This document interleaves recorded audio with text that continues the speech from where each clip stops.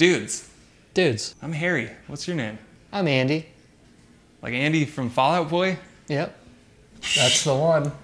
Andy from Fall Out Boy doesn't wear shirts. But he does for special occasions. Oh, dude. It's true. Holy dude of dudes. It's Andy from Fall Out Boy. Let's do this. Let's dude this. Some of the most masterful drummers I meet, I get the sense that after a certain threshold of success, it's just no longer interesting to think about the drums anymore. But my sense from talking to you is like you still like to think about the drums and Yeah. I'm not. I met Tomas Haake, Uh-huh. the Meshuggah. Meshuggah drummer. yeah. And I asked him what he does to warm up or like practice at home, and he said nothing. He doesn't practice. And that's kind of where I'm at. Okay. I just cruise. Yeah. I feel like I got to a place where I can play like all the styles that I want and I'm cool with it. But uh, yeah, I still nerd out about stuff. I'm a DW drummer now, um, and I just saw that they posted a picture of their bell brass, which is you know the the classic DW snare, which I don't have one, so I I, t- I took a screenshot so I can send it to my guy and order one. Yeah. so yeah, I, I'm I still nerd out. Okay. I think it, I think that kind of goes with everything else. I kind of shift and focus where I just want to play and do bands and practice and make music and stuff. I dig that. Well, that inspires me. I mean, after the years and years of success that you've had, that you still are stimulated by it in that way. That's also good news because this is a drum channel, so uh, I don't have anything else to get heady with you about. Uh, that being said, man, brought this game if you want to get into it, man. All it takes is you putting on these Vic Firth headphones Yep. and listening, and uh, Okay. we're gonna do some drum shit. Man, I'm so out bearded in here. Look at you. Point the camera at you, TJ. Even my camera guy. It's a real good beard. Oh yeah, dude. I'm in dead last place in the beard test, including the, the security lady that let us in here. Cool. Dude, so uh, this is a game entitled Dude, Drum Stuff, We Like It, Dude. Here's how it works, man. I have iconic drum intros from over the decades of rock and roll, okay? Yep. And if you can name the tune just by hearing the drums alone, then you win Oh, a shit, prize. Hopefully.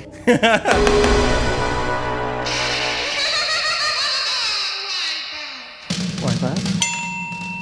I mean, that, that one's the, it says it. We start slow. All right, dude, you nailed that one. We're gonna go deeper. We're going. We're going to the '70s.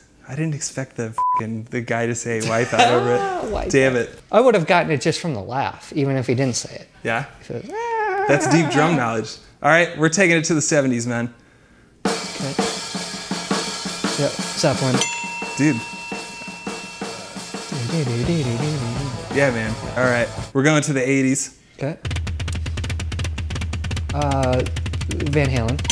Dig. We're going to the '90s. You're on a roll, man. Uh, d- d- d- uh, Foo Fighters. Oh, dig, dig, man. That's four in a row, man. We only have one historic decade left. You're one away.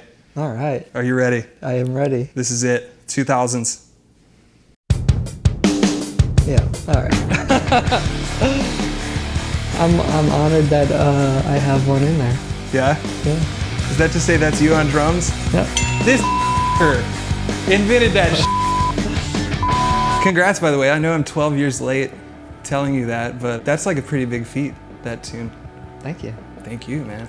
when you think back to tracking a song with a drum intro all the way to that going like quadruple platinum in an era where music sales don't exist, is there a defined moment in the lineage of that song where you realized, dude, I just created a moment in the history of music? Hmm.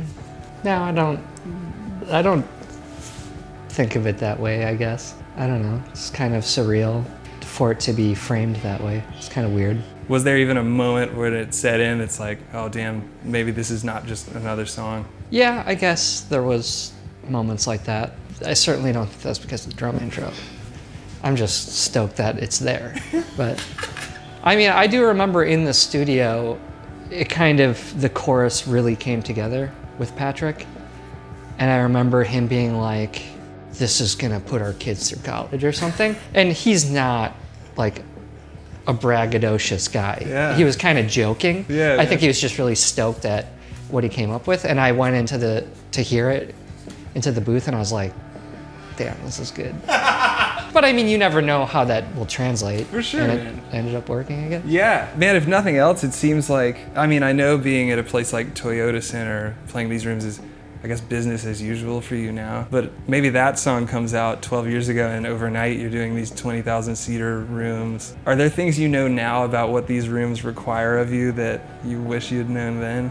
Yeah, I guess just confidence. I think then it's so big. Now we played uh, an arena, like a college arena in Fairfax, maybe, and I was like, man, this show is small. so it's kind of weird when you get used to it. That's not to say that every night I'm not like looking out in disbelief. I remember when we came back from hiatus and we did an arena tour, and I was just like, dude, I can't believe we're doing this again. Like, this is crazy. And I, I do feel that almost every night where I'll look out and just be like, see people, you know, in the nosebleeds and just be like, this is crazy. The difference being is the confidence. I think back then, I couldn't look up there without like seizing up and playing like really tight and messing up. Now I, this tour has been like the loo- loosest I've ever played. Cause I, I'll see pictures where it's just like this, and I'm like, damn, like Yeah. loosen up a little bit. Dude, so you mean literally loose, like Oh, don't choke yeah. the hell out of the stick. I hope that I can absorb that lesson from you right now, man. I, I get what you're talking about. Yeah. I mean, it still creeps up, but there'll be times where I'll feel it and I'll be like, stop, just loosen up. I have some nights where it's like, I don't know if I know how to play, or like, you know, we play to a click, and sometimes I'm like, I don't, rhythm escapes me. I don't know what, like, and it'll be like really weird, like a song I played more than any other song. And I'll just be like, I'll mess up something. I'll be like, what? What is happening? like, this is so easy. But then, like, you know, harder fills, mm-hmm. fine. It's Damn. weird like that. So you're saying it's psychological. Yeah. Dig. But when I mess up a little thing, I tighten up. And that's the opposite of what you should do. Yeah. The looser you are, the, the more confidence your body is telling your brain you have. You know what I mean? Damn, dude, that's a life lesson. That's not just a drum lesson. You clear these headphones off the screen. The Vic Firth headphones. That's a good game, though. Oh, thanks, I man. love- you, you really nailed it. I love it. those kind of things. You know what? Can I say something? Andy and I don't agree on much, okay? As, as you can tell from this interview, he prefers to be in a mega popular rock band and play huge shows all over the world. And I prefer to toil in obscurity for a lot less money, probably. But the one thing we do agree on is this Andy, who is your chosen source of drumstick? Vic Firth, Dig it, man. Yeah, the best. Always has been. I too am a Vic Firth lifer, man. I'm thankful for my Vic Firth brotherhood with you, and also just Vic in general has facilitated a lot of the joyful noise in my life, from my own drumming to a big old stack of Fall Out Boy records that I've loved for uh the better part of two decades now. So dig them. You win the prize, by the way. First of all, Oh, I saw. yeah. It's been probably been a while since you looked at this thing, Yeah. eh? So for my faithful you-duders, one lucky subscriber is gonna get this from me in the mail. Just leave a comment.